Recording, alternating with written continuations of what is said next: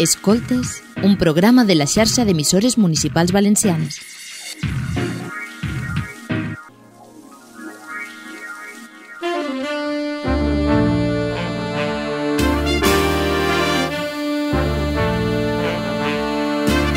Així comença La Represa, un programa de debat, de diàleg, de reflexió i d'introspecció. En definitiva, un programa de trellat. Bon dia de vespre, amigues, amics, i benvinguts una vegada més a La Represa, un programa de trellat. Com acostumem a dir, els nostres programes sempre són molt especials perquè així són els nostres convidats i una setmana més vos hem portat a un convidat en molt de trellat. Bueno, eh, yo me llamo Ramón Zesone Balé, soy de Guinea Ecuatorial y nací en, en Cuán, en Yebocuán, que es una, es una, eh, está en la región eh, Quientem, en Mecomesén. Eh, soy dibujante y tengo 40 años, por, decir, por dar un poquito más de datos, pero sí, así, eh, así soy. Y, y nada, y nada. Bueno, Ramón, muchísimas gracias por responder a la llamada de nuestro programa. Como bien has dicho, ¿no? tú naciste en Micomeseng, que por situarnos un poco Sí. es el interior de Guinea Ecuatorial, de Sí. la parte de Río Muni, Mm. Frontera con Camerún, si no me equivoco, y es, digamos, la zona de la etnia Fang, ¿no? Sí, sí, sí. Eh, yo vengo de esa, esa, parte, lo que llamamos nosotros en Guinea Ecuatorial el interior del país, que es la parte del bosque, eh, que es la que más eh, tiene fronteras con Camerún y Gabón. Entonces, sí, es el interior de Guinea Ecuatorial y es, em, es de donde yo provengo y bueno, sí. que muy poca gente conoce esa región eh, porque bueno Guinea Ecuatorial está en una situación en la que está y poca gente va ahí para visitar. Ujú. Bueno, y de hecho yo tengo un amigo de la Wikipedia que hizo un voluntariado por allí. Mm. Por situar un poco también a los oyentes y por hacernos un poco la idea, ¿cómo es la vida allí o cómo era la vida allí a principios de los 80 más o menos? ¿Qué es tu, tu infancia? Esa zona fronterera, insisto, con Camerún, donde la gente que hay a la otra parte de la frontera es exactamente igual que vosotros. ¿no? Eh, yo en especial por cuestiones de eh, trabajo de mi padre nos, nos, eh, nos tenemos que desplazar primero a la región continental, eh, o sea, a la, a, la, a, la, a la capital de la región continental que es Bata, conocida como Bata, y luego, eh, luego nos trasladamos a la capital que es Malabo, que está en una isla alejado de todo eso. Pero la vida, eh, cuando yo era más joven, que tampoco voy a hablar mucho de esto porque tampoco soy de dominar esos terrenos, pero la gente que ha estado, por ejemplo, mis hermanos mayores, en los 80 todavía estaba todavía fresco el, el- todos los problemas que se, que se derivaron de, de- de la independencia con España desde el 68. Entonces esas zonas eh, de- de- se convierten en unas zonas calientes porque están, están precisamente en unas zonas de, de- de- de donde las, las fronteras con Camerún eh, y con Gabón, eh, con- además aparte de las fronteras con Camerún y con Gabón, a nivel interno están las fronteras con, con otras regiones de Guinea Ecuatorial, eh, Huelen y, y, y- y- Centro Sur. Bueno, está todo la, la- la- esa zona ha debido tener en los años 80 una, unos movimientos suficientes como para que la gente no hubiese vivido ahí la- con la tranquilidad que les hubiese deseado. Pero luego también desde el 68 que es la independencia, el golpe de Estado se da en el 79 y entra el, eh, el régimen de Obiang y a partir de ahí también el régimen de Obiang, que es el que ocupa todos esos años 80, pues mira, eh, no fue tampoco fácil para los ecuatorianos que vivían ahí y sobre todo para los adultos, ¿verdad? Que, que venían de una dictadura y entraban en una otra, otro régimen con una desconfianza total. Por lo tanto, no creo que eso pudiese haber sido fácil. Eh, como bien has dicho, ¿no? digamos cuando te mueves a las dos capitales Mm. eh, de, de Guinea, ¿cómo te aficionas al cómic? O sea, en esa Guinea prácticamente recién descolonizada, ¿cómo era, por ejemplo, el acceso a las viñetas? El, eh, ahí es donde podemos hablar de varias influencias. Por ejemplo, el acceso a todo ese material, eh, viñetas, cómics, eh, pasa a través de desde el aeropuerto, los aeropuertos eh, de, Ma- en el Malabo sobre todo, el único, porque llega el- la- las compañías extranjeras, sobre todo Iberia en este caso, y eh, había una costumbre de mi, de mi padre de traer, de, irse al aeropuerto, eh, eh, esperar a que llegase el avión y como tenía alguna que otra amistad y por su rango, entonces él podía recibir un periódico, entonces ahí empecé a conocer a El Roto, empecé a conocer dibujantes como que, que, trabajaban en las viñetas en los periódicos españoles en la época, pero también esa misma influencia de llegar de, un avión eh, procedente de España, porque también procedían de otros países, pero yo no francés o, inglés no era lo mío. Entonces todo lo que llegaba de España era eh, a nivel gráfico, en ese sentido, eh, por ejemplo, las revistas de Mortadelo y Filemón, y Carpanta, empecé a, empecé a aprender a leer, aprendí a leer prácticamente con Carpanta, con Mortadelo y Filemón, y todo eso llegaba desde Iberia. Y también eh, esto, la influencia de mi padre, los aeropuertos, los aviones, pero también estaba mi hermano que ya se movía en unos círculos, digamos, eh, de cooperación, alguno que otro español que llegaría, que se traían revistas y tal. Entonces esas revistas, mis hermanos, mi hermano mayor las introducía en casa eh, y yo podía tener acceso. Entonces me, se me fue llenando la cabeza de dibujos y quise, quise seguir en esa línea. Entonces podemos decir que tus influencias son exactamente las mismas que la de todos los dibujantes de tu edad españoles. Yo, yo, yo estoy seguro que es así. Lo único que aquí la diferencia sería que a mí me llegaba a cuenta gotas. Eh, algún tenías una revista hoy y no podías esperar hasta cuatro meses, cinco meses, pero esa revista te llenaba este tiempo. Entonces sí, la influencia es la misma, pero con menos frecuencia de, alcance de, este material. Sí. Continuamos metiéndonos en contexto. Eh, creo que es una institución de referencia para cualquier persona que haya trascendido en Guinea, que es los centros culturales de España, tanto el de Malabo como el de Bata.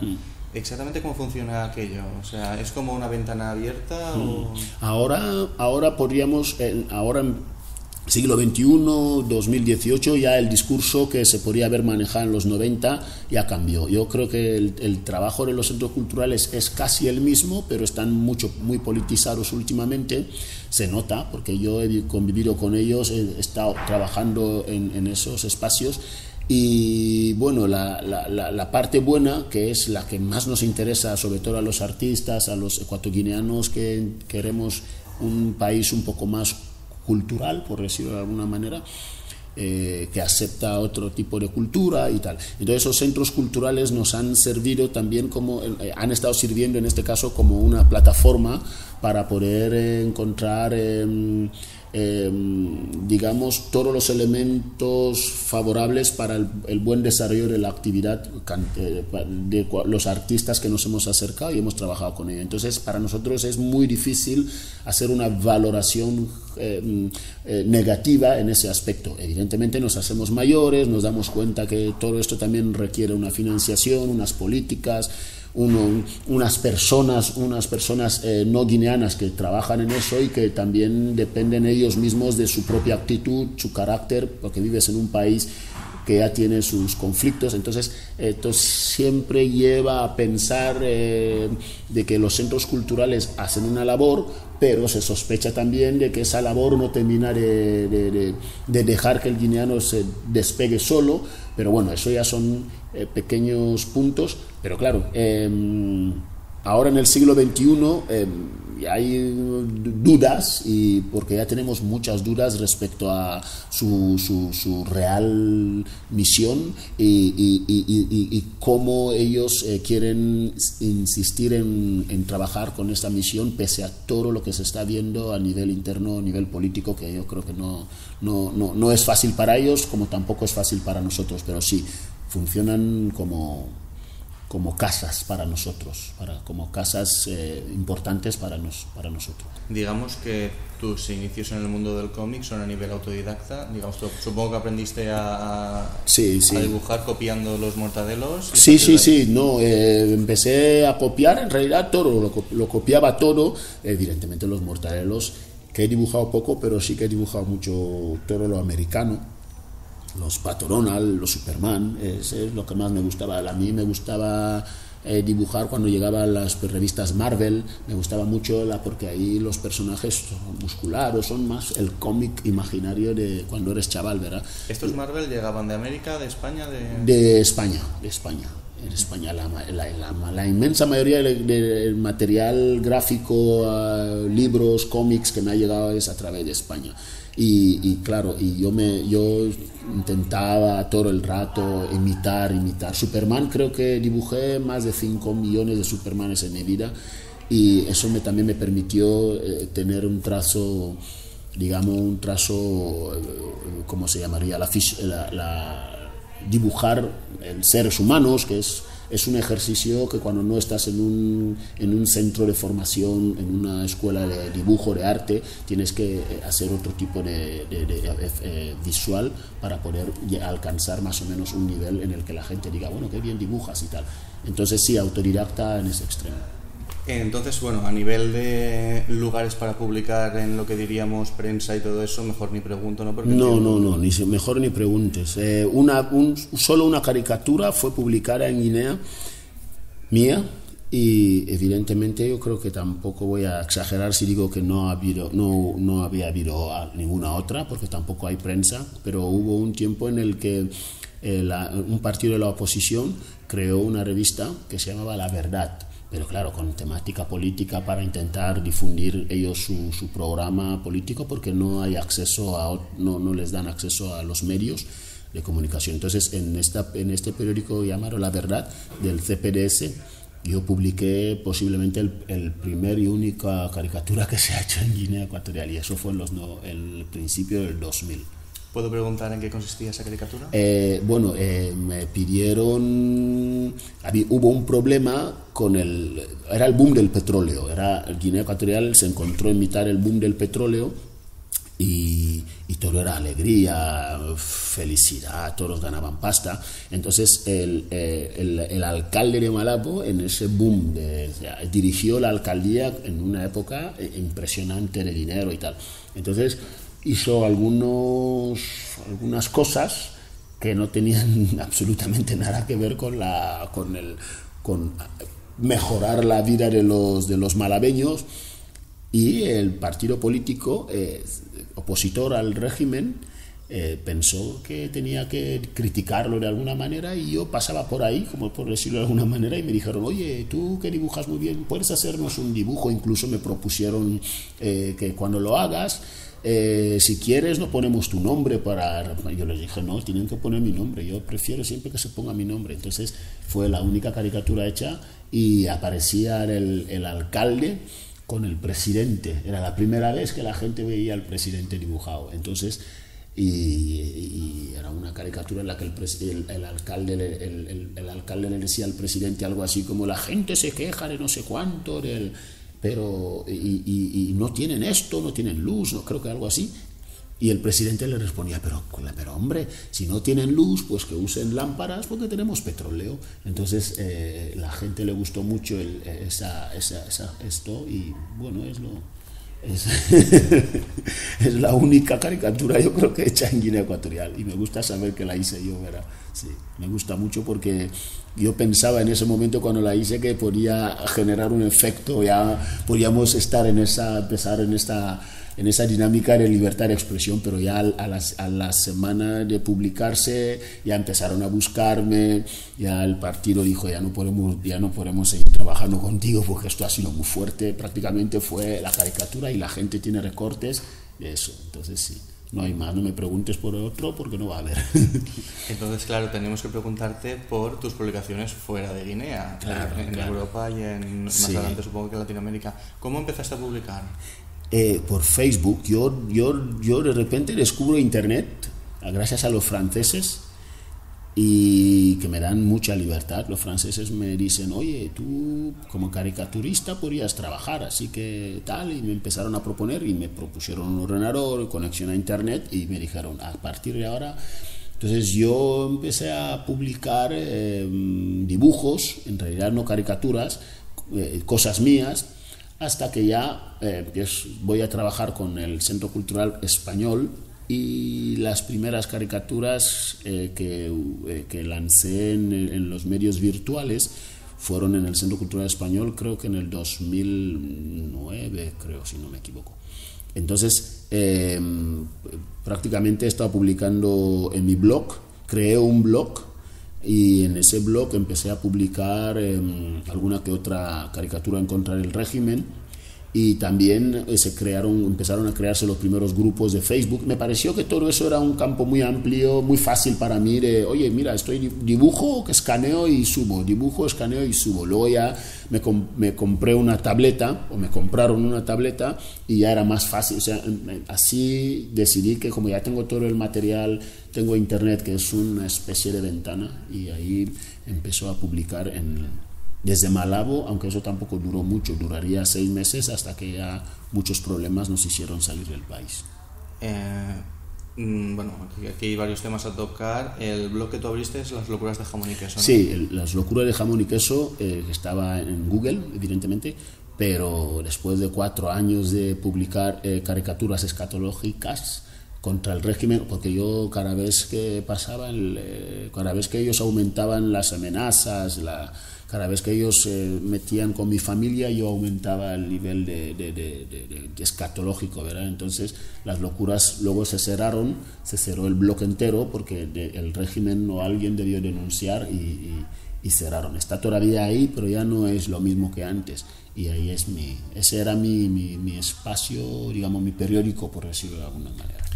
Eh, como bien dijiste, tuviste que abandonar el país. Una cosa que llama la atención es que has estado en Paraguay y en El Salvador, si no me equivoco, mm. y llama la atención porque digamos que normalmente eh, el destino de la gente que es la de Guinea suele ser España. Sí, eh, bueno, en este caso a mí el, Salvador he estado, pero no, no, no para vivir ahora, como ahora va a ser, pero en Paraguay lo que ocurre es que yo luego conozco a una chica, Eloisa, que es mi pareja, y la conozco en Guinea. Y bueno eh, nuestra idea de, nuestro programa era sencillo. Eloísa en algún momento pues dejaría de trabajar en Guinea evidentemente y buscaría otro destino. Y como a lo mejor no le sale nada pues mira siendo pareja pues nos iríamos a vivir a España. Eso era el primer, la primera idea básica ¿verdad? pero luego eh, resulta que ella parece que lo hace muy bien y ella solicita un puesto de directora en el Paraguay y le sale.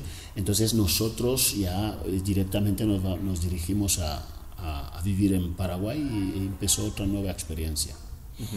Hablemos un poco de premios. Mm. Has ganado el Regard de Neuf a Angoulême, ¿no? Sí, gané un premio ex aequo, ¿se dice?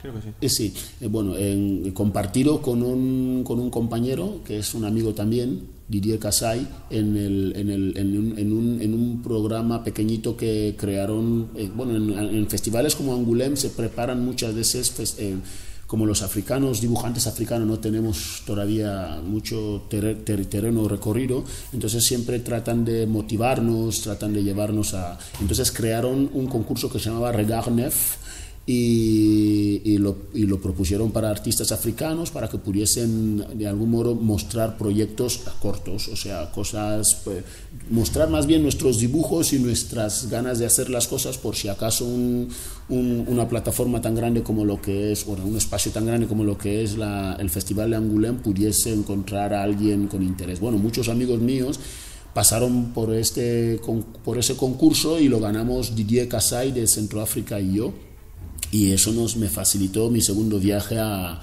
a, Angoulême, porque el año anterior había estado y este siguiente año también estuve.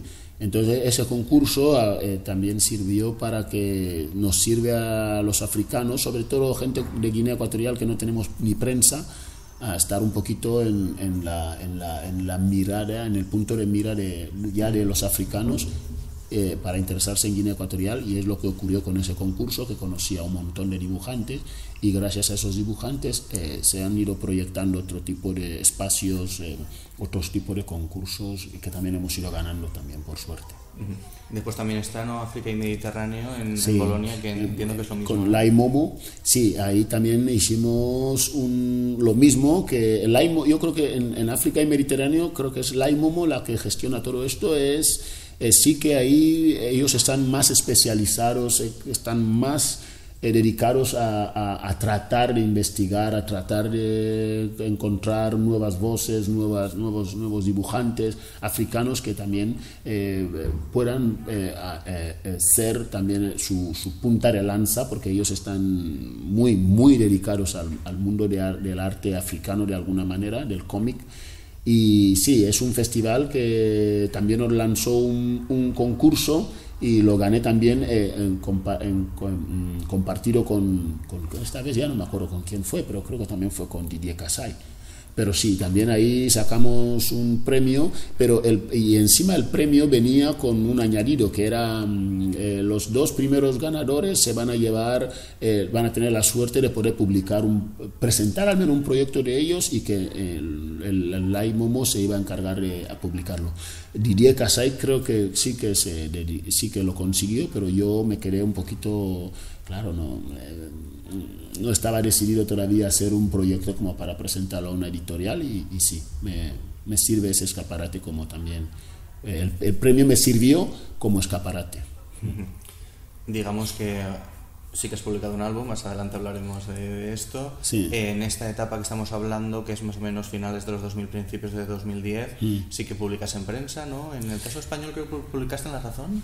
Eh, bueno, en, es, en, el, en España eh, lo que yo he podido publicar es, eh, digamos, de forma indirecta también, ¿eh? La, la, en España creo que no podríamos hablar oficialmente de que yo he publicado en algún, pero sí que han salido cosas mías por aquí, pero también son, es porque también, mm, yo lo intenté explicar ayer en la charla que dimos en la librería ayer, que es que también hay que tener en cuenta que Guinea, al ser un país pequeñito eh, y, su mayor eh, escaparate europeo es España, entonces evidentemente yo estaba haciendo muchas cosas en España eh, que, a lo mejor han llevado a que, eh, por ejemplo, a Arco y tal, y gracias a la cooperación también, y bueno, y yo he estado en España presente, pero no tanto como dibujante de cómics. He estado a lo mejor como ilustrador, caricaturista y un poquito por hacer el loco también. Pero,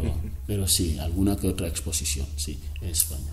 Está el caso de Arco, que eh, Arco fue una pasada porque, porque yo, yo no sabía prácticamente nada de Arco y de repente me estaban... Me, me, yo había hecho una serie de dibujos, todas los, los, esas series que yo llamo las, los eh, cómic corto, entonces cortometraje, cort, cómic corto. Entonces era, yo me dediqué un, un, tiempo a hacer unos, unos trabajos con temática muy, muy política, aunque, aunque la, el estilo fuese buscar eh, más eh, en, indagar en lo, ¿cómo se suele llamar? Ficticio, ¿verdad? Que tampoco eh, convertir un gato en una especie de presidente o las cucarachas. Entonces yo jugué un poquito en esta idea de, bueno, yo voy a criticar al, al régimen en estos cortos o al, a los regímenes varios que hay en África, pero utilizando esta este atractivo que tienen los cómics algunos que es por ejemplo yo he leído el yo leí el cómic Mouse que me parece una cosa genial y he leído otros tantos cómics en los que perso los personajes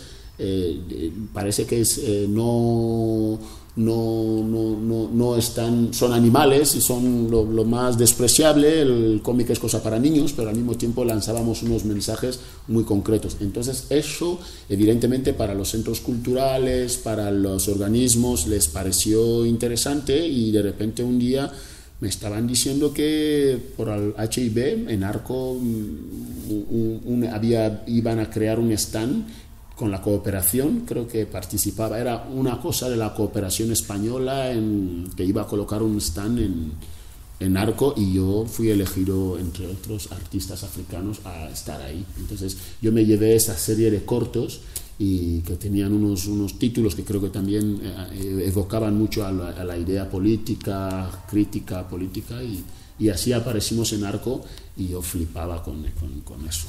Uh -huh.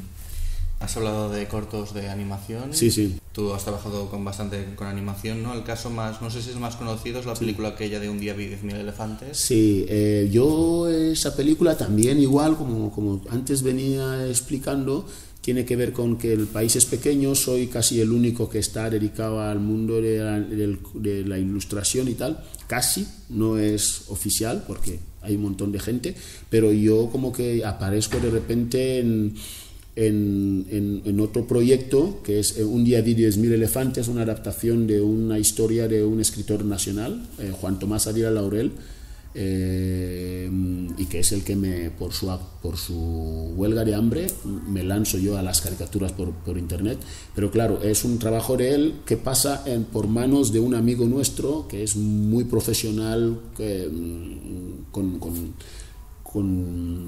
él es muy conocedor del, del, del mundo del cine, de, de, la literatura. Entonces él hace una adaptación de esta, de esta historia y, la quiere llevar al cine. Entonces, eh, a mí me eligen porque la, idea no es hacer una película convencional, como sería, es hacer una película con ilustraciones, con un, nuevo juego de, de, moderno de hacer las cosas. Entonces, yo me encontraron que yo era muy, podía tener esa mano para hacerlo pero ese proyecto no terminó, acaba muy bien conmigo porque las personas, o sea, las personas que eran los que gestionaban el proyecto tuvieron sus conflictos y yo me encontraba en medio de esos conflictos sin experiencia en trabajar en, en, unos guiones bastante concretos, cine y todo, y entonces ya eh, ocurrieron una serie de cosas que me dejaron fuera de la película y luego ya vi que buscaron a otro dibujante y la película bastante interesante, aunque yo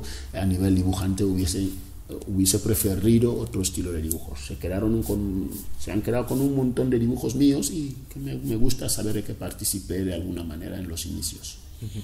También hay otros proyectos cinematográficos por ahí, ¿no? Que son un poco menos famosos. Eh, sí, tengo con... Sí, eh, yo tomé algunos talleres con Coque Riobo, no sé si se conocerá, pero sí, Coque Riobo es un animador eh, muy bueno aquí que ha ganado, creo que un Goya o dos, no sé pero que él estuvo dando unos talleres, todo lo que más o menos voy a decir, cooperación, y tú ya, entonces también la cooperación se lo trajo a Guinea Ecuatorial y trabajamos durante, durante unos meses y fruto de eso eh, sacamos una película que puedes encontrar por internet, las, las, las anomalías eléctricas.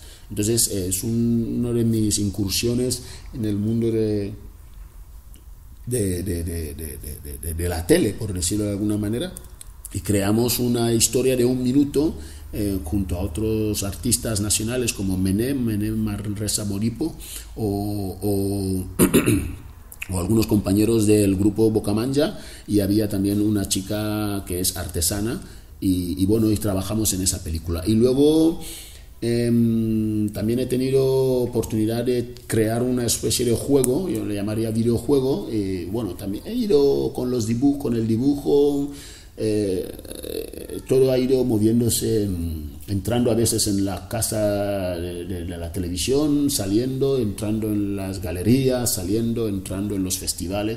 O sea, he tenido la suerte de ir metiéndome y saliendo de esos sitios. Experiencias muy buenas.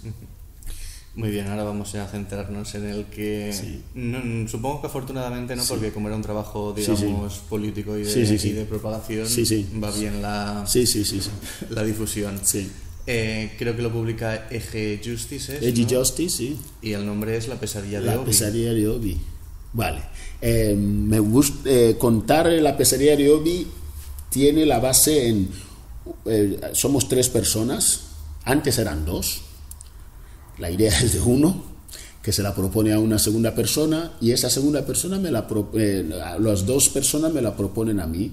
Todo surgió porque nos acostumbramos a ir a comer eh, a un bar chino ¿Por qué era el, bar chino? No sé, ellos, lo, uno de ellos eh, les gusta, le gustaba ese bar porque ahí comía comida china, estaba contento, las chinas le nos trataban muy bien y luego empezamos a introducirnos ahí y nos dábamos cuenta que también hablando en ese sitio en español, español rápido, porque eran un español, dos españoles a veces, y hablábamos todo rápido, entonces la China no se enteraba, entonces nos dimos cuenta que podíamos estar hablando de política también ahí tranquilamente y no nadie se entera. Entonces surgiría de ahí la idea final de, oye, ¿y por qué no hacemos un cómic? Yo tengo algo escrito por ahí y bueno, en fin, yo fui a leer lo que tenía escrito y ya me tronché de la risa, porque yo, yo sabía como dibujante que lo que me había llevado no hacer solo cortos, no hacer largos, era que tampoco yo soy muy bueno escribiendo o montando historia, un guion, ¿eh? cosa, por eso los cómics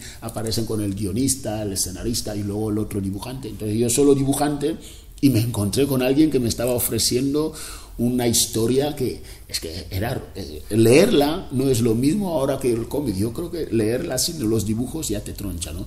Entonces nace la idea de crear un cómic dedicado exclusivamente a Obiang, pero no a un Obiang. Eh, nosotros pensamos que era un Obiang que había que desendiosar. Nuestro proyecto, bueno, parte de mi proyecto como dibujante es desendiosar a la figura de Obiang. Obiang no es Dios aunque todo gire a su alrededor, como sería la imaginaria historia de Dios, pero eh, creímos que lo mejor para que un cómic así pudiese funcionar era quitarle a Obiang todo lo que es lo que representa en los últimos 40 años para el guineano. Un producto pensado para los guineanos, pero que ya sabíamos que nacería, nacía ya censurado es un, el cómic ha nacido censurado. De hecho, en Guinea es muy difícil, con, muy difícil que alguien te acepte que lo tiene. Y nace esa idea y ¿qué hacemos? Pues desconstruimos el endiosamiento de Obiang y lo volvemos un ser humano normal. Y eso ya tenía ese atractivo suficiente como para que yo con mis dibujos ya dijera, bueno, yo aquí me voy a explayar.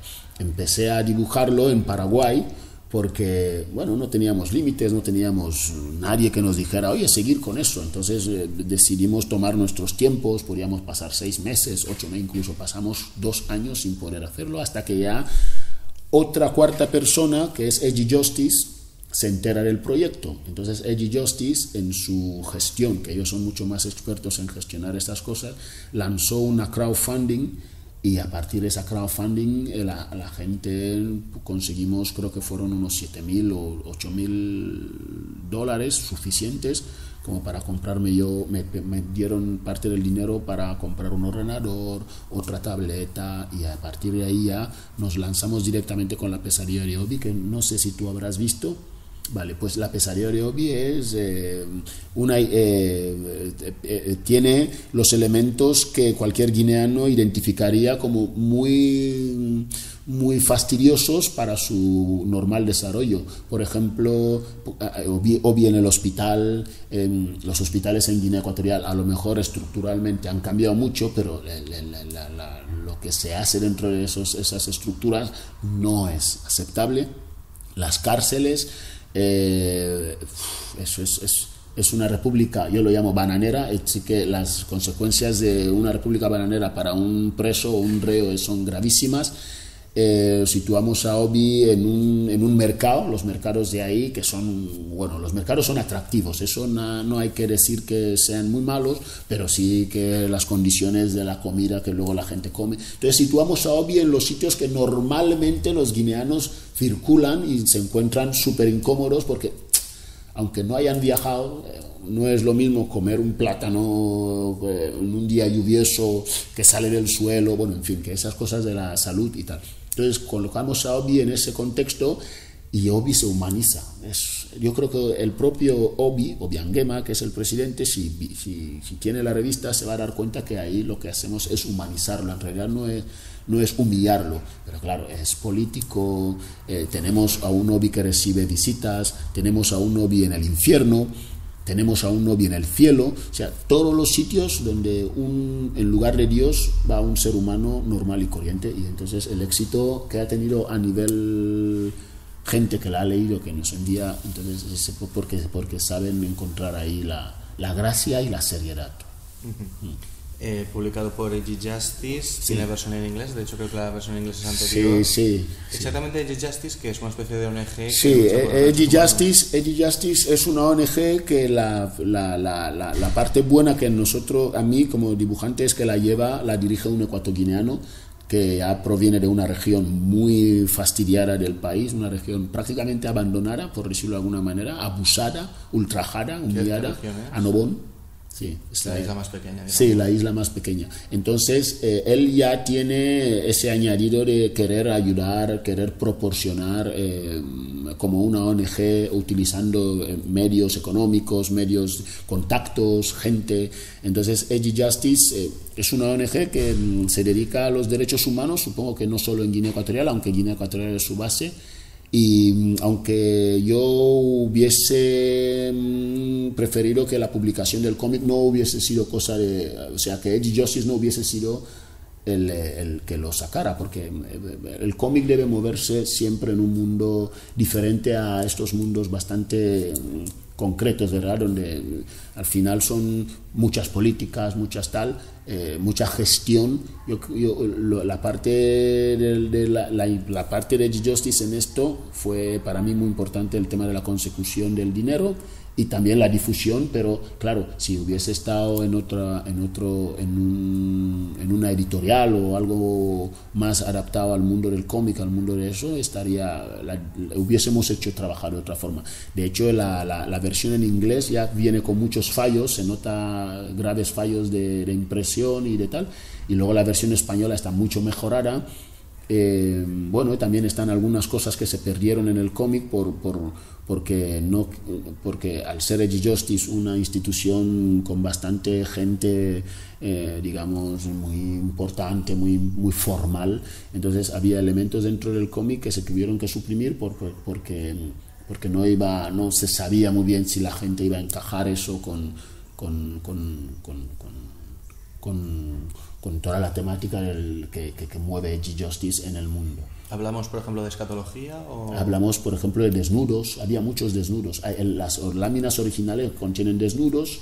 Hay unas escenas con chinos. Hay, hay, un, hay un Obiang entrando en un, en un, restaurante chino que nos, era para nosotros muy especial eh, reflejar esa parte, pero claro, eh, ya, los chinos, eh, bueno, en fin. Que, hay muchas inversiones chinas. En sí, sí, sí, hay mucho, mucho. Ahí Edgy Justice jugó a un papel más de ONG promoviendo valores a, una editorial pro, eh, promoviendo un, una obra de arte, por decirlo de alguna manera. Eh, bueno, eh, ¿estás satisfecho con el resultado no tanto de la obra, que entiendo que sí, sino Sí.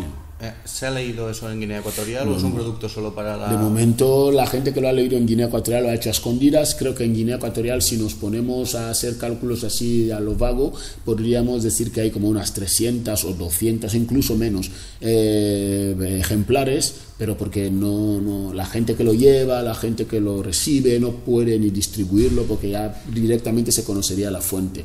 Pero sí, la poca gente que ha tenido acceso a ese cómic, que lo ha leído, es gente que me ha escrito que los que son amigos míos, evidentemente, que me han escrito por privado y me han dicho que es una obra que debería salir ya. Pero claro, eh, esta, esta es, ese es el, el, el, final de una obra que nosotros mismos ya estábamos muy contentos de poder ya tener un producto nacional hecho por guineanos, aunque el, el, de la base, base es un español. Y, bueno, y, ha sido una experiencia muy buena y creo que la gente que lo ha leído va a influir en que otra gente tenga ganas de leerlo.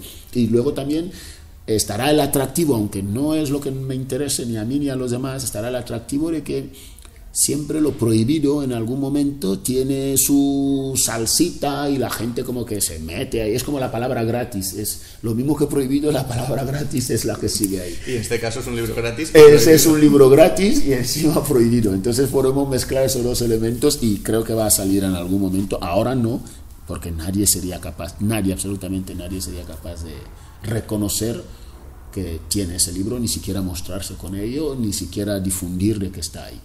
De momento solo hay que versión digital. Eh, ahora la gente solo puede leer la versión digital. La versión digital es la que se lee. Yo sé que ahora, además, eh, este producto, eh, esto es una, digamos, estoy dando un boom, señores, que podría, no sé si reservarme el, vale, que se va, a, hay otro, hay otro idioma, otra lengua en Europa que está decidirá a, a, tradu a, traducirla a la lengua de ellos. No voy a decir el nombre ahora porque sé que mi mujer va a escuchar y me gustaría darle la sorpresa en directo. Muy bien, muy bien. Eh, vale, eh, ahora hablemos de un trámite bastante normal para cualquier ciudadano como mínimo europeo, como sí. es aquello. Yo tengo el pasaporte caducado de hace bastantes años. Sí. Cuéntame tú que, qué tal fue la última vez que te renovaste el pasaporte. Bueno, antes de ir a renovarme el pasaporte y la aventura que todo el mundo supongo que más o menos se hace la idea, yo me rompí mi último pasaporte. Eh, las, las, razones por las que lo rompí están en un vídeo que tengo colgado en YouTube y creo que es mucho más fácil verlo ahí que explicarlo aquí. Pero eh, luego ya, evidentemente yo no soy español, no soy francés, entonces soy guineano y llega aparte de haber roto el pasaporte, llega el, el, el vencimiento, caducidad del pasaporte. Esa caducidad coincide además con que mi mujer, con la que yo, a la que sigo yo a todas partes últimamente, eh, se tiene que cambiar de país. Ya no estamos en el Paraguay, nos vamos a El Salvador y como yo no soy español, tengo que tener mi documentación en regla. Entonces yo ya empiezo a gestionar, empiezo a hacer llamadas, porque yo sabía de que ya había un problema con romper el pasaporte y luego iba a haber otro problema con mis actividades en las redes. Entonces eh, me muevo por intentar eh, renovarlo de alguna manera, pero todas las maneras que busqué, incluso las muy oficiales, ministerios y tal, la embajada, me conducían a Guinea. Eso era bastante evidente. Y claro, yo ya sabía, desde antes de salir de Guinea estaba amenazado, así que dije, bueno, yo voy a ir a Guinea, me preparé muy bien, hablé con mi familia y bueno, llego a Guinea. Eh, eh, con intención de quedarme tres semanas y a los 17 días de llegar, eh, una detención impresionante. Me detuvieron también con un agente bastante importante para mi vida y nos conducen a la comisaría central de Guantánamo no se llama Guantánamo. No, eh, se llama Guantánamo. El nombre con el que le conocen todos los guineanos es Guantánamo. Pues es la comisaría central de Malabo. Esa es la comisaría, las, todas las comisarías centrales de Malabo en las dos en la capital económica y la capital tal, son, se le conoce como Guantánamo, por, por la, fama que se ganó la Guantánamo norteamericana en Cuba. Entonces ahí torturas, y además por las cosas que se hacen dentro, hay mucha tortura psicológica, física. Entonces nos trasladan a Guantánamo em, y ahí es donde yo digo que la intención no era detenerme ni llevarme a ninguna comisaría, la intención era cogerme, llevarme a, una, a la comisaría en la, a la hora que me llevaron y tal como encontramos la comisaría era un espacio preparado para torturar para agredirme, para maltratarme, eso estaba claro. Pero claro, me pillan con esas dos personas, una de ellas bastante relevante a nivel institucional, entonces ya se dan cuenta de que no pueden, eh, no pueden hacer todo eso. Entonces yo ya, esa misma noche me empiezan a machacar con imágenes de mi blog, y que ellos mismos seguramente tienen toda Guinea Ecuatorial, hasta donde yo sé, se pasaban las imágenes de mi blog en, a escondidas también en sus WhatsApp entonces todo el mundo, esa gente tenía esas imágenes y empezaron a interrogarme que si tú hiciste ese dibujo. Y a, partir de ese momento yo ya sé que, bueno, me habéis detenido, pero ya no podéis hacer nada porque estas personas me han salvado. Sacan a esas personas, las dicen, ustedes se quedan. Eh, entonces, eh, en la comisaría, eh, es que un, me detienen a mí un fue un, un, viernes, no, un miércoles, sí, fui detenido un miércoles y, no, espera, un sábado, eh, y entonces ya, eh, como lo único que, la razón por la que quieren hacer todo lo que querían hacer y no les sale bien, es por los dibujos y empiezan a interrogarme también por el tema de los dibujos. Pero resulta que se dan cuenta de que hay muchas, muchos errores cometidos en mi detención y ya al día siguiente es cuando se inventan eh, eh, el tema de la falsificación de, moneda. Bien, yo hasta donde yo puedo calcular en este momento es que lo inventan precisamente porque necesitan una excusa perfecta para justificar, uno, mi detención y para retenerme el tiempo que les diera la gana. Entonces ahí ya paso tres días en Guantánamo, y de Guantánamo me llevan a un juez que es amigo mío, bueno, amigo mío como tal, pero es un conocido y es el que me envía ya a la prisión pública, que es lo que llamamos el Playa Negra. Menos mal que era amigo tuyo porque vamos Playa Negra. Sí, sí, sí, sí, sí. No, yo creo que yo creo que esa persona, eh, amigo mío, tampoco le voy a calificar, pero es una, un conocido de toda la vida porque Malabo es pequeña, como he dicho antes pero él me envía ahí porque también ya todo estaba bastante ordenado desde arriba, o sea, un juez como él no podía hacer absolutamente nada. Esta persona lo tenemos ahí, vale, no podemos hacerle lo que queríamos hacerle, que, que vaya directamente abajo, así lo dicen ahí. Entonces él ya me manda directamente a Playa Negra. Entonces yo llego a Playa Negra y es otra aventura de mi vida que comienza en ese momento. Hablemos de esa aventura. Vale. el tema de lo de Playa Negra, Evidentemente ya la excusa era la falsificación de monedas, ya me puede llevar a Playa Negra, evidentemente. Pero, ¿qué ocurre con Playa Negra? Ocurre con Playa Negra que hay una, una revolución externa que eh, se traduce en apoyos de artistas, de personas, incluso el apoyo más grande para un guineano en estos casos es su familia, porque las familias normalmente abandonan, porque no pueden, es, es, un, es un, miedo muy instalado y lo que yo hacía suficientemente para que incluso mi familia me rechazase, ¿verdad? Pero no ocurrió así. Esa, ese apoyo para mí dentro de la cárcel me sirve, para mí dentro de Black Beach, que es más, más eh, su, su, nombre, dentro de Black Beach este apoyo externo empieza a dar resultados eh, para mí como la comodidad, no tener, eh, no, sea, saber de que vigilan las autoridades locales y encargadas de las cárceles tienen ya claro que ya no pueden tratarme porque en algún momento vendrá a verme mi hermana, el mundo va a preguntar cómo está, ya había embajadores, bueno, pero claro, bien o mal, aunque mi situación hubiese sido mil veces eh, mucho mejor que la de la mayoría de los chavales, es que Black Beach es una cárcel criminal. Eh, hablando de esa cárcel, eh, habíamos oído cosas, es una cárcel famosa, es muy famosa por su por, su, por, todo lo que es la historia de Guinea Ecuatorial, eh, desde el tiempo de los españoles, luego el tiempo, y luego está la misma, la misma situación de la cárcel, está en la zona presidencial. Muchas veces la gente no, no habla de eso, es una zona presidencial extremadamente militarizada y como la, la mayoría de los presos que hay ahí dentro no están condenados, son gente que tú, cualquiera, cualquier comisario, cualquier persona con un poquito de... Simplemente llevar el traje del PRG ya puede enviarte ahí abajo, tienen ese poder y las condiciones ahí abajo son criminales. O sea, yo creo que algún día esta cárcel, si yo puedo tener el poder, de, cambiar muchas cosas en Guinea, esta cárcel la, quitaría la condición de cárcel pública y la convertiría en un museo de los derechos humanos. Eso lo tengo claro después de haber pasado ahí dentro eh, seis meses de mi vida que a lo mejor eh, gracias a que yo tenía mis ventajas, pero las ventajas de los demás no existen. Es un abandono total de muchas familias, es un abandono total del propio sistema de justicia es un maltrato psicológico y luego es un maltrato físico. Eh, en los seis meses que estuve en Playa Negra, si yo tuviese que destacar muchas cosas, eh, me quedaría con tres, porque luego ya, eh, imagínate tú ahora mismo sentado aquí conmigo y te toca a ti, mañana te estás saliendo aquí, oye, y pum, te meten en un coche y te encierran en un sitio tú sin haber hecho nada, porque una cosa es estar en la cárcel, haber condenado, eh, reconociendo realmente que has cometido un delito, otra cosa es, como están la mayoría, porque, porque están. Entonces, si tuviese que destacar, tres cosas que ocurrieron en Playa Negra serían eh, el tema de la salud, eh, muy peligroso jugar con la salud de la gente a ese nivel, tal que cuando alguien enferma, pero es que la gente normalmente debería enfermar más había, eh, si, si, hay una epidemia en, en, esa cárcel, yo no sé cómo, cómo se puede resolver, no hay manera.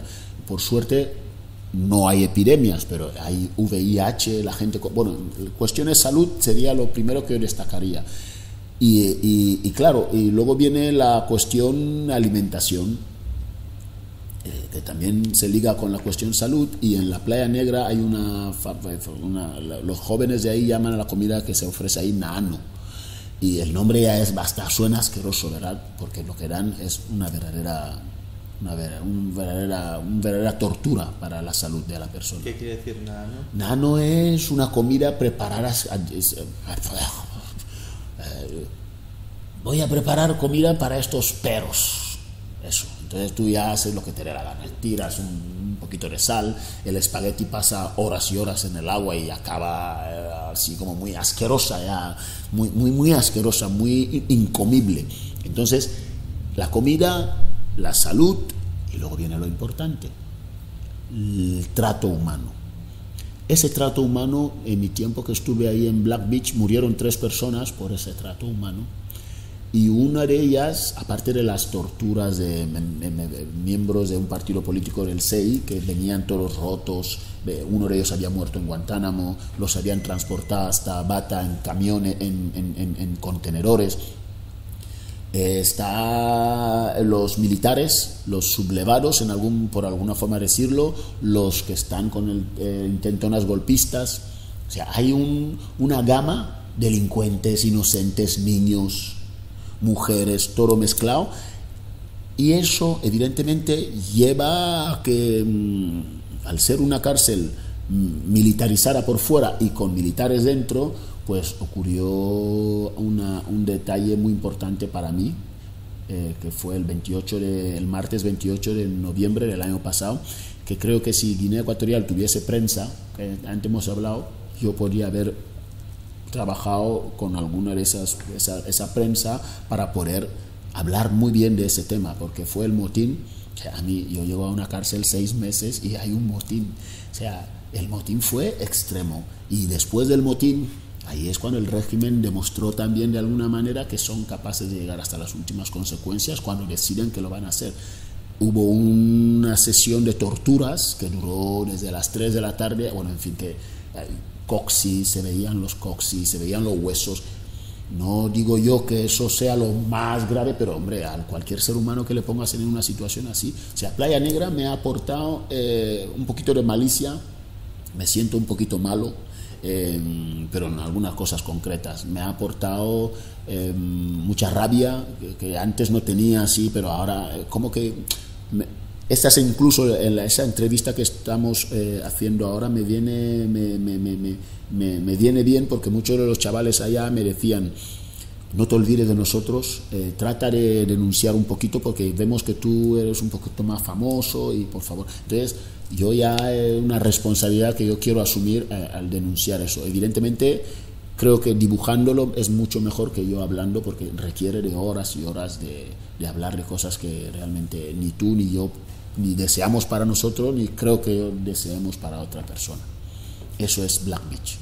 Digamos que saliste y, bueno, es también ¿no? bastante llamativo ¿no? el que se pueda salir de allí. Sí, eh, ahí volvemos a lo de los apoyos. Eh, Guinea Ecuatorial es un país que es pequeñito, depende también, como todo el mundo, de, de otras personas un poco más grandes, y la presión fue tal tal fue la presión que en un momento Guinea Ecuatorial debió pensar que sí que podíamos quitar, sacarlo de la cárcel a juzgar por la presión, pero no ya no lo podemos hacer como, a ver, tú te hemos detenido, ahora lárgate. Entonces se crearon esa última, eh, ese, último teatro del, juicio.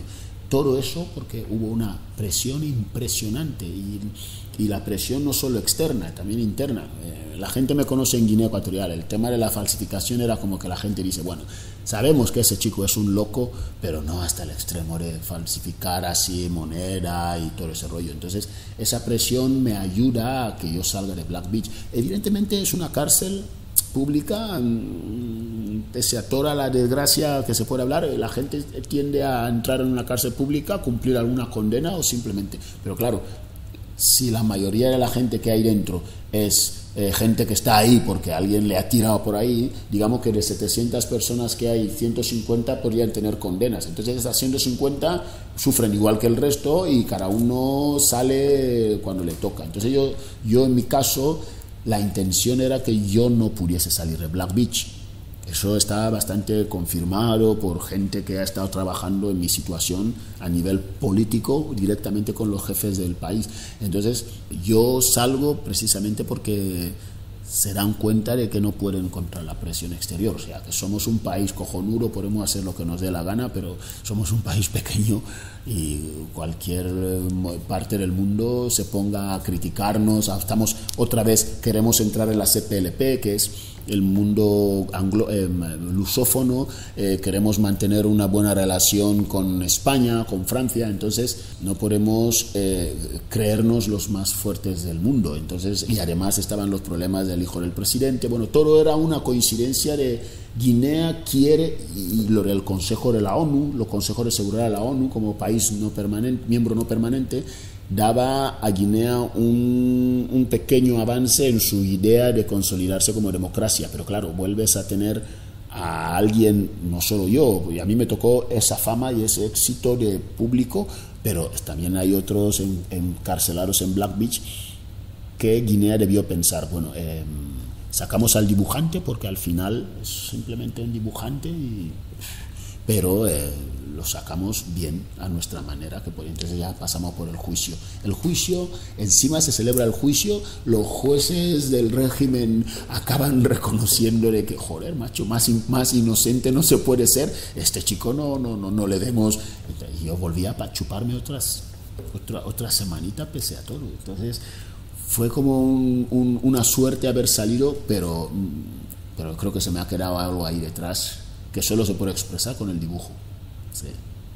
¿Tú sufriste torturas en Black Psicológicas sí, eh, porque hubo un momento que yo enfermé y bueno, yo ya sabía que enfermar en Black Beach, eh, la consecuencia de decir que estás enfermo podría ser que, ay, tú ya quieres escaparte de la cárcel. O sea, lo que primero que se te dice es, ah, claro, estás enfermo y quieres salir y tal. Entonces, eso psicológicamente no ayuda cuando tu cuerpo te está dando indicios y señales de que no lo estás no estás bien del todo y eso fue una tortura psicológica. Y yo creo que mm, yo mismo ya, ya me había, mm, en los dos primeros meses, cuando me doy cuenta de que hay un, pese a la presión externa, pero aquí los que mandan son esta gente, entonces me mentalicé de que iba a ser un año.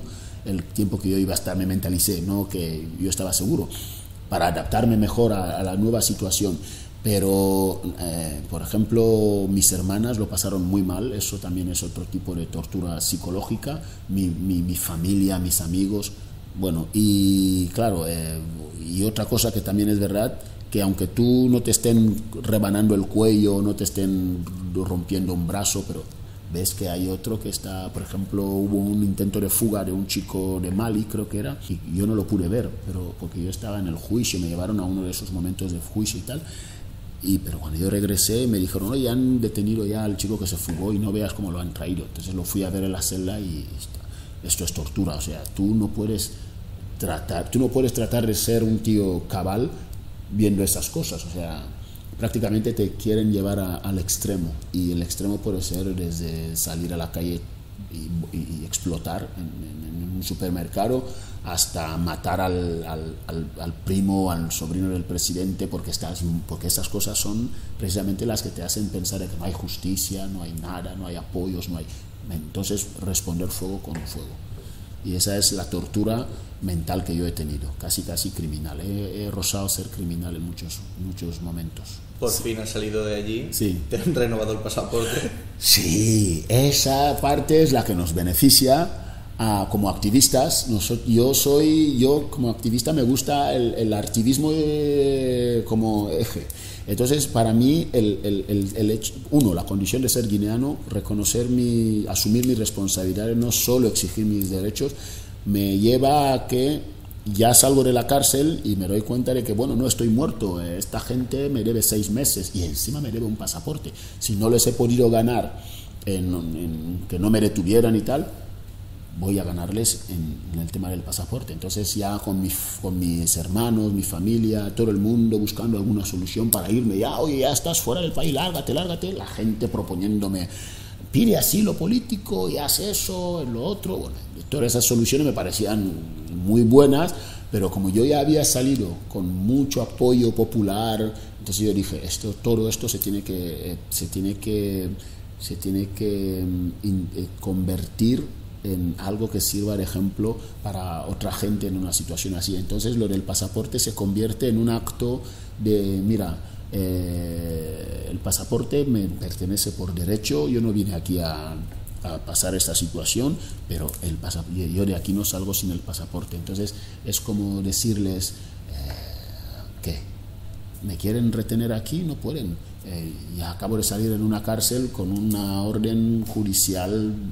Sea, yo ya era una persona que podía exigir un poquito más arriba Entonces ellos se dan cuenta de que esto ya va a ser una rendición para ellos. O sea, ¿por qué le tenemos que dar el pasaporte? Empezaron y al final, el, día que me dan el pasaporte, el discurso del tipo que me lo da es como, yo digo, bueno, eh, vosotros lo habéis provocado y me lo tenéis que dar. Entonces yo recibo el pasaporte y ya, ya para mí es como hacerlo de la puta ganado. y bueno, ¿y ahora qué? Ahora eh, lo menos conocido de mi faceta de dibujante es que voy a acabar un cómic. Estoy en, un, en, en, el proceso de creación de un largo de 218 páginas. El, el cómic se llama 218 Empire, en, este, en la primera parte se llama Imperio en inglés. Y 218 es un cómic que me cuesta mucho dibujar. Eh, es una historia sobre un imperio africano eh, del que nadie habla, pero es el imperio más poderoso existente en la faz de la Tierra, gestionado por una mujer. Y, bueno, eso es un proyecto que evidentemente espero que algún día tú y yo podamos compartir eh, otra charla en torno a eso, que ya no tiene nada que ver con, bueno, eh, algunos elementos podrían ya introducirse desde mi paso por la cárcel, pero eso es dibujo puro y duro. Em, y, hay tantos elementos en este proyecto que son es lo que va a permitir que yo al menos en los próximos dos años no esté muy pendiente de toda la parafernalia, porque yo sé que al final nos vamos a olvidar también de que estuve en la cárcel, solo se va a quedar ahí como algo, algo más de mi currículum loco. Pero sí, estoy en un proyecto de cómic y que me está costando, me ha costado nueve meses eh, de corte, pero ahora es lo que más necesito hacer porque además hay que publicarlo el año que viene, tengo una editorial y muchas, ahora con todo lo que ha, pasado, la, la, publicidad que me han dado estas personas, pues creo que voy a estar dos años dedicados a, a ofrecerle al mundo la versión dibujante de cómic de Ramón. Eh, ¿Editorial española o...? Eh, la Random House es una editorial creo que inglesa. Sí, bueno, editorial. Sí, sí, pero muy internacional. Claro, pero eh, claro, y tienen una filial, cuentan, trabajan con muchas filiales. entonces, la filial con la que yo voy a trabajar es Reservoir Books y que creo que es, tiene sede en Barcelona y, y sí, eso. Mi cómic, yo siempre tuve claro que mi cómic debería, haber, debería empezar su andadura, si es en Europa, desde España, porque eh, evidentemente puedo ir a Italia, a Francia, pero yo necesitaba también esa identidad, porque también formo parte de esa, ese español que aunque no por piel, pero también por, por, por, por esa, esa, esa, historia de Guinea Ecuatorial con España y porque también está escrito en español, entonces es muy bueno pasar por España antes de otro sitio. Eh, durante toda la entrevista hemos comentado que Guinea Ecuatorial es un país pequeño, mm. no tiene medios de comunicación mm. Así, ah, de censura mm. obvio. Teniendo en cuenta que soy, y encima está el contexto africano, una sociedad bastante invisibilizada, de hecho aquí en España casi nos conocemos. Sí, sí, sí. ¿Crees que a lo mejor gente como tú que tenéis un pelín más de proyección mm. deberíais hablar de la realidad del país? Sí, em, nosotros la suerte que hemos tenido, los que tenemos ahora esta pequeña proyección, la suerte que hemos tenido son la, es, las redes sociales, Internet. Entonces eh, ya llevamos años, yo al menos ya los últimos 15, 20 años los dedico a, a difundir, a trabajar, a criticar. Entonces eh, también eso me ha aportado entre problemas, pero también me ha aportado otras cosas interesantes. Y mm, Guinea Ecuatorial evidentemente tendrá, pero es que ya, ya, ya urge, ya es como si no extirpamos este pequeño cáncer eh, ahora, eh, o al menos si no lo sabemos detectar como sería, como detectan las, las, las, las mujeres el cáncer de mama eh, detectarlo, actuar rápido. Nosotros ahora nos hemos dado cuenta que nos lo hemos detectado un poquito tarde, porque nuestra generación em, empezó hace nuestra juventud, la hemos gastado eh, sin prácticamente aprovechar las oportunidades que teníamos para hablar de nuestro trabajo, nuestras ideas. Ahora, con 40 años, lo único que podemos hacer es eh, presumir de ser pioneros y que eso eh, influya en los otros jóvenes ecuatorianos que mucho mejor adaptaros a Internet, no exactamente eh, conscientes de la grandeza de eso, pero estarán mucho mejor adaptados, tendrán unos medios mucho más mucho más modernos que los que contamos nosotros ahora y serán los jóvenes eh, de aquí a los, o sea, los serán los nosotros de aquí a tres años. Habrán, por ejemplo, hemos tenido a César Brandon, el chaval que ganó un concurso, que puede, eh, puede, hacer, puede hacer un montón de cosas, pero claro, todo ahora por la falta de medios en Guinea, por la falta de, libertad de expresión, nos obliga a estar en, otros espacios como estos. Por ejemplo, yo desde que salí de la cárcel, los medios nacionales críticos contra el régimen, ninguno me ha llamado, yo no sé, porque a lo mejor estamos un poquito ya, pero claro, deberían también dedicarse a trabajar ese tipo de, de enfoques de ecuatoguineanos. Si no soy yo, porque a lo mejor es otra situación, pero está César, está Elvira Yangani, que es una curadora de arte. O sea, deberíamos empezar a buscar esa cosa que es que lleva al ecuatoguineano a conocer un poquito más las propuestas internas. Yo, por ejemplo, también cuando me has preguntado por mis proyectos, eh, estoy pensando en, en, llevar a Guinea la idea de una galería de arte que se dedique exclusivamente al dibujo gratis para una cierta, o sea, terminar de lo que nos falta lo podemos suprimir con otra cosa. Si no hay redes sociales, hay Tam Tam. Mi abuelo para invitar a la gente de otros pueblos en el Tam Tam y ahora yo tengo que enviar un WhatsApp. Entonces, si no hay WhatsApp en el bosque, ¿cómo creemos de que no hay internet en mi, en mi pueblo? ¿Cómo creemos de que llegan las noticias? Pues saliendo de tu pueblo al otro para dar una noticia y, y así. Entonces, eh, nuestro rol es de comunicar no de ser estrellas, desgraciadamente no podemos serlo. Nos gustaría eh, ser estar como bisbales y tal, y, viajar y ganar dinero, pero sabemos de que es muy, es una, no tenemos, tenemos eso, la suerte de, de, de, ser profetas lejos de nuestra tierra, pero dentro de nuestra tierra simplemente la limitación de la prensa ya nos, ya nos pone en una situación delicada que nosotros debemos eh, em, resolver antes de cualquier otro tipo de cosa. ¿Habrá democracia en Guinea?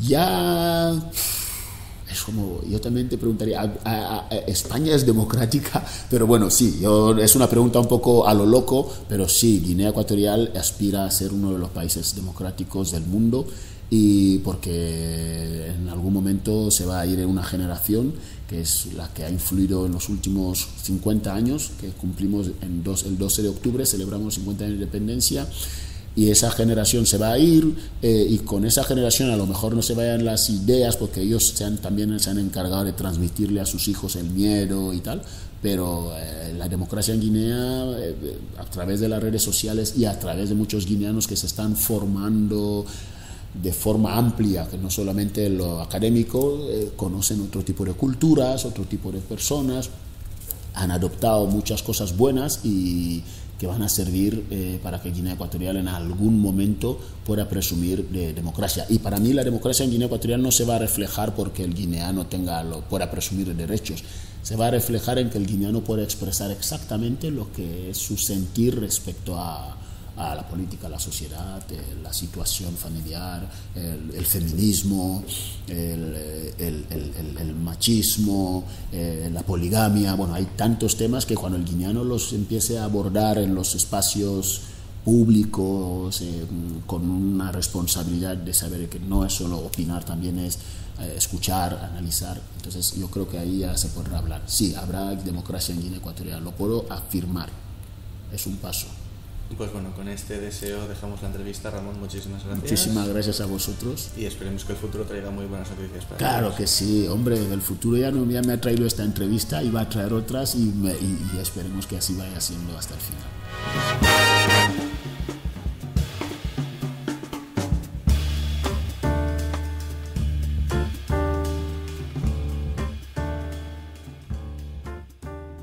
Escoltes un programa de la xarxa d'emissores municipals valencianes